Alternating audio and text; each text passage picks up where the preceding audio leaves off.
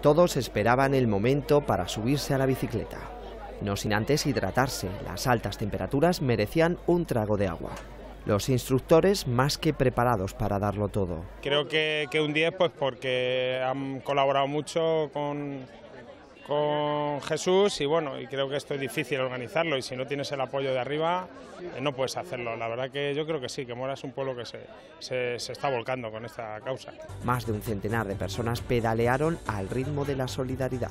Fanio siempre le quiere dar un sentido muy, muy deportivo a sus actividades y aparte de este maratón de spinning y exhibición de karate, en 15 días en Santiago y Santana haremos un maratón de tenis en las nuevas pistas municipales y bueno, creo que entre la participación que vamos a tener hoy aquí, la que tendremos en el tenis, creo que bueno, primero movemos a la gente a hacer deporte y segundo contribuyendo pues eh, con Afanion a su causa.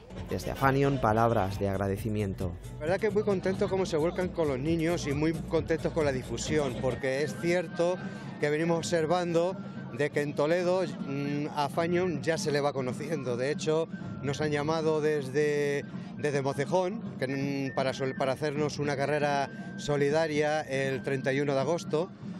Se han enterado de los eventos que venimos realizando, de informaciones vuestras en televisión, en prensa, y si es cierto de que además de lo económico, pues prima mucho el tema de lo que es informativo. Una cita a la que se unió otra, donde pequeños y mayores también ofrecieron una exhibición de artes marciales. Este año hemos querido pues, aderezarlo un poco más con una exhibición para que los niños también cooperen con esta causa tan noble como es la lucha contra el cáncer infantil. El ritmo no paró en toda la tarde. Pedalear valía la pena.